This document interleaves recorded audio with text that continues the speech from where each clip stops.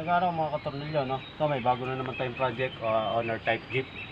Ang concern ng may-ari, ah, medyo bulok na yung kanyang ah, exhaust pipe mula dun sa dulo hanggang dito sa dito sa dulo. Ah, may mga apat siyang putol-putol. Eh, ngayon, ang suggest ko sana sa may-ari, palitan na namin ng buo. Eh kaso nga lang, ah, lack of budget. Gawan daw muna ng paraan mga katornilyo, no? Ito ngayon ah yun o, gagawan muna ng paraan ayun, ah gagamit tayo ng acetylene para sa ah, pagdugtong ng mga exhaust pipe niya ayan, bago mag, tayo mag-umpisa ah, intro muna tayo mga katornilyo no?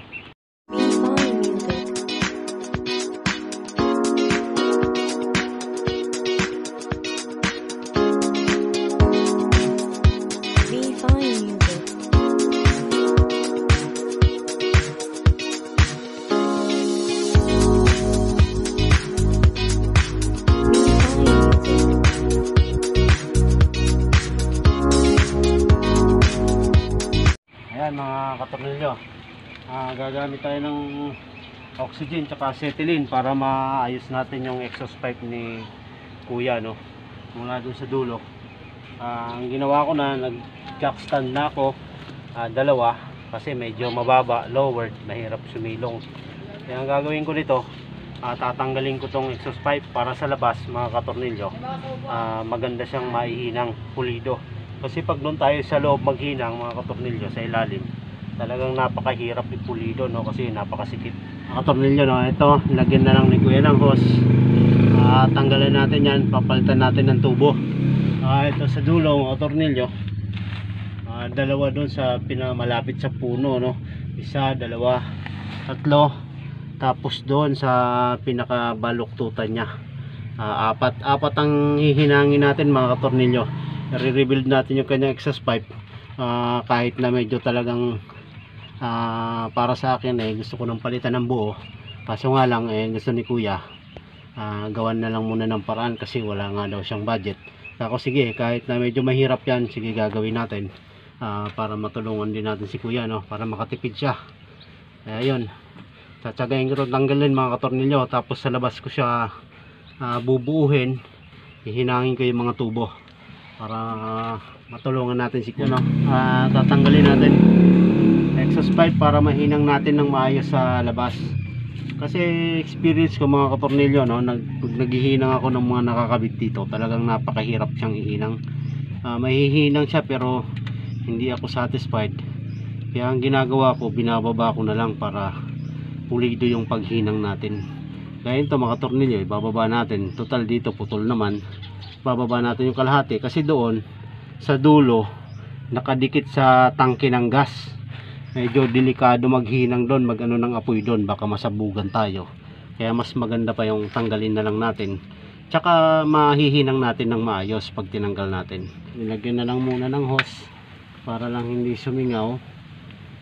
Ayan nilagyan ng clamp kaya tinatanggal ko siya ngayon para diretso na siya wala na siyang clamp clamp wala nang hose hose ayan rubber lang dinugtong nila no nakapalitan natin ng eh, pang exhaust pipe talaga na tubo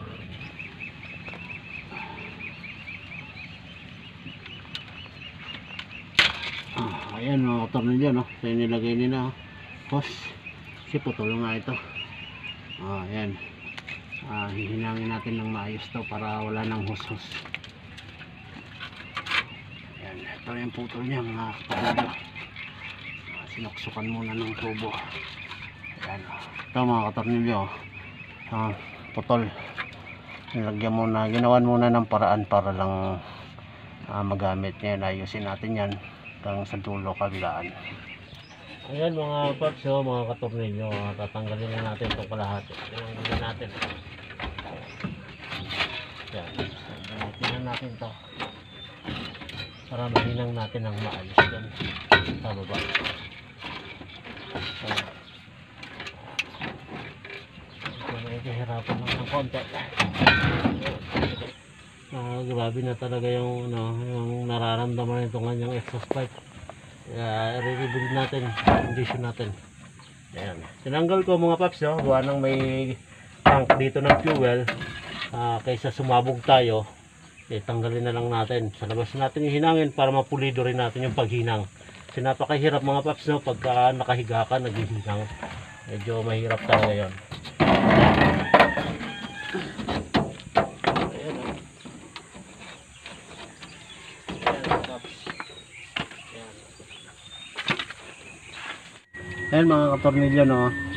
Ah, tinanggal na natin dito sa puno dalawang ah, 14 mm na bolt nut tapos to tanggalin na natin tong ah, kabuuan ng muffler. Yan nagpakaala-alambre na lang ano kasi sira na nga. Nalaalambre na lang dito sa paligid. Yan nakaalambre na lang siya. Yan.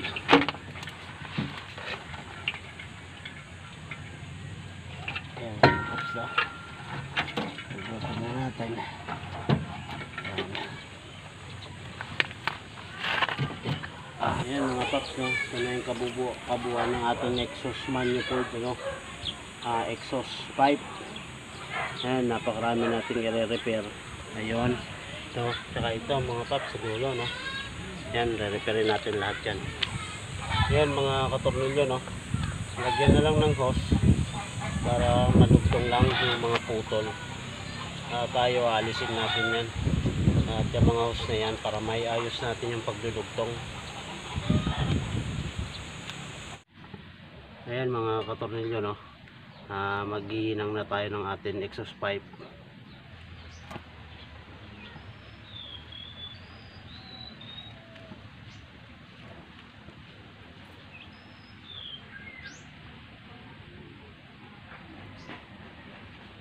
Handa mga katornilyo no. Maghihinang tayo. Kailangan lutong-luto para maganda yung kapit. Kailangan mga paps, may nakahanda tayong tubig ah, para pag sakaling may umapoy man, meron tayong pang pambuhos. Paps, no? Kailangan meron tayong ah, eye protection, no? Kasi yung akin, naiwan ko lang kaya wala no, akong gamit ngayon.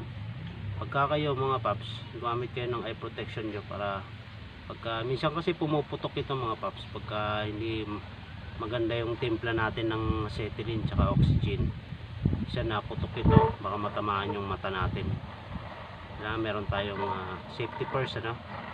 Kaya lang ako wala kasi naiwan ko sa akin. Ganyan lang mga paps paghihinang no? Nakikita naman natin yung baga kung natutunaw na. O kasi maaari din siyang mabutas pagka hindi natin makontrol kailangan tamang clearance ng ating acetylene para hindi siya mabutas. Kasi manipis lang din yung lata na to. Kita nyo mga katornilyo no? Ah, ganyan. Paghihinang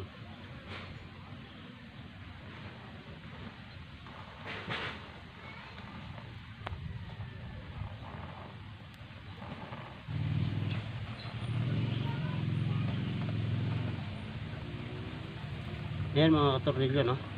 Ah, mas mas relax talaga pagka tinanggal natin siya sa ilalim ng sasakyan natin. Kasi pag sa ilalim napakarami nating dapat ingatan doon. Unang-una, tangke ng gasolina. Pwede tayo masabugan doon. Pwede tayo masunog. Kaya maganda talaga tinatanggal para relax tayo dito sa labas maghinang. Maganda pa yung resulta ng hinang ano kasi hindi tayo nahirapan, tayo nakahiga. Uh, napakahirap gumalaw doon mga paps no, ayan na yung ating nagawa. Ah, nahinang na natin dyan, nahinang natin doon tapos ito, dugtong natin. Ito lang mga paps no, ito bago na yung ah, ah, tubo natin. Ito lang natin gamit, gamit acetylene pag bubukas tayo nito mga paps ito yung acetylene maliit, oxygen yung mahaba. Itong kulay green, kulay pula, acetylene buksan muna natin to. Pasindihan natin. Yan. Tapos tapos oxygen na yung ating bubuksan. Yan. Yan. Tapos ito, dudugtong na natin tong ating ah unang tubo. Dugtong na natin. Ayan.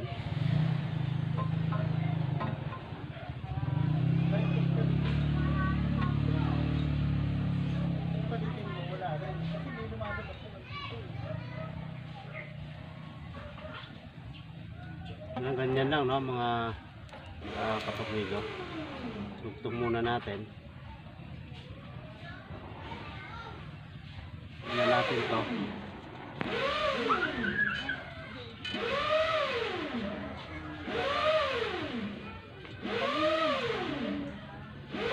Ito lang mga paps, paghihinang.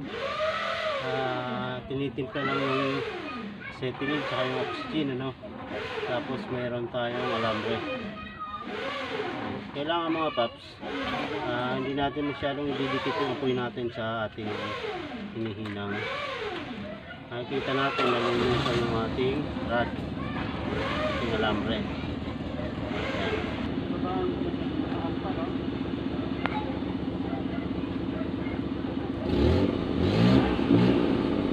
Pulweld na natin, no?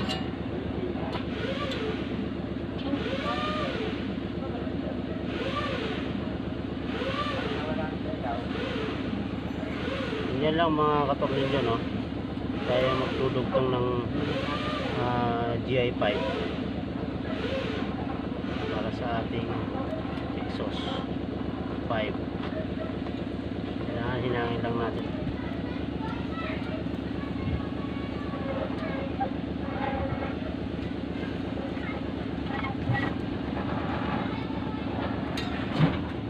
Mga katornilyo no? Ah, nagawa na natin yung ating ano exhaust pipe ayan. Isa, dalawa, tatlo. Apat na dugtong tayo no? Ah, budget meal lang kasi to mga katornilyo no? Talagang ginawan lang namin to ng paraan. Pero ah, tumatagal naman to mga tornilyo kasi maganda naman yung pagkakainan natin. Ayan kakapit na natin mga katornilyo no? Kakapit na natin sa ilalim. Paano natin tinanggal? Okay? Yun no? Kinakabit na natin yung ginawa natin na exhaust pipe ayan medyo pinalitan natin yung iba na tubo na meron tayo dyan. Ah, tulong na lang natin sa may-ari no? Kasi wala rin ayun, talagang budget para dito. Ito ginawan muna natin ng paraan. Yan kinakabit ko na mga katornilyo no? Ah, exhaust pipe. Kabit na natin yung dalawang tornilyo no sa puno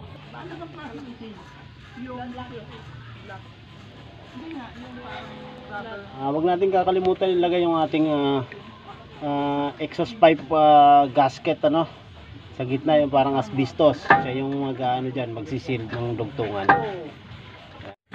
Ayan mga katornilyo no? Ah, natapos na natin yung ginawa natin exhaust pipe. Ah, ginawa natin ng paraan para mabuo lang kasi mga sira na rin talaga yung kanyang mga tubo nagdugtong-dugtong na lang kami dyan ng medyo ah, iba't ibang size ng tubo dyan ano, haba. Kaya yan natapos na namin. Ah, okay na. Ayan po yung may-ari. Si Paps. Ayan po yung salamat po tayo kay Paps. Yan lang muna yung aming may share sa inyo ngayon. Don't forget to like subscribe and share na rin mga katornilyo no, para matulungan nyo yung channel ko. Ah, tuloy-tuloy tayo makapag-upload ng mga bagong videos tungkol sa sasakyan. Kung sino yung may hilig dyan mag DIY o maggawa ng sasakyan ah, palagi nyo lang panoorin yung aking mga videos. May matututunan kayo. Maraming salamat katornilyong RK